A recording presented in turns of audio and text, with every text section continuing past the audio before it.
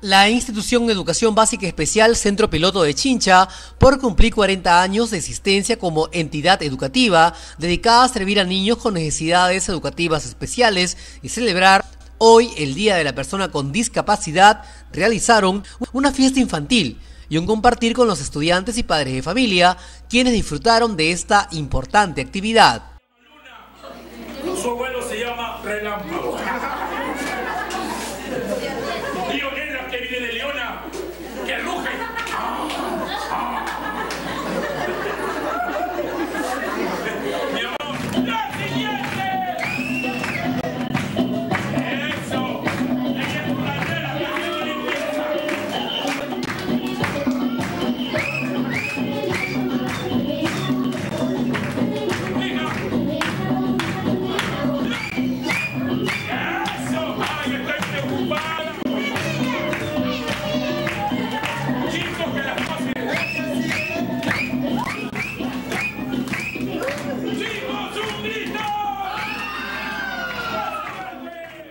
La profesora Carmen Alzamora Velarde, coordinadora del SANE, manifestó que sin duda es un día de reflexión para hacer que la, sociedad tome mayor conciencia sobre los derechos, necesidades y oportunidades que tienen las personas con discapacidad y así justificar las medidas encaminadas a eliminar todos los obstáculos que se opongan a su plena integración. Toda la sociedad chinchana eh, en esta oportunidad estamos haciendo una serie de actividades, bien sabemos, por cultura general que ha sido decretada a nivel nacional la Semana de la Inclusión Social.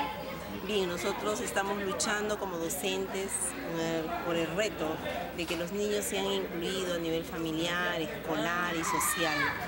Parte de ello son las actividades que estamos celebrando. Hemos el día domingo empezado con la campaña este, educativa en Pueblo Nuevo. El día de ayer hemos tenido entrevistas televisivas en los canales. El día de hoy tenemos la fiesta, como ustedes pueden apreciar, y el almuerzo de los niños. Gracias a Dios estamos contando con un buen número de participantes.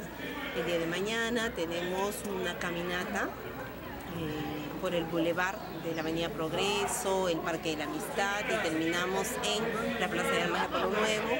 El día jueves tenemos un almuerzo con fraternidad y el día viernes tenemos una mañana de gincana con todos los chicos inclusivos de nuestra provincia. Pues se nota que los niños son muy extrovertidos, ellos ya digamos están eh, incluyéndose dentro de nuestra sociedad. Sí, efectivamente es todo un proceso, la inclusión tiene inicio pero no tiene fin. Gracias a los profesores inclusivos y a los 12 colegas que trabajamos en el, equipo SANE, que es el servicio de atención, ayuda, asesoramiento a las unidades educativas especiales, eh, venimos trabajando con el apoyo, como decía, de los docentes de inclusión para que los niños sean cada día más abiertos, más extrovertidos.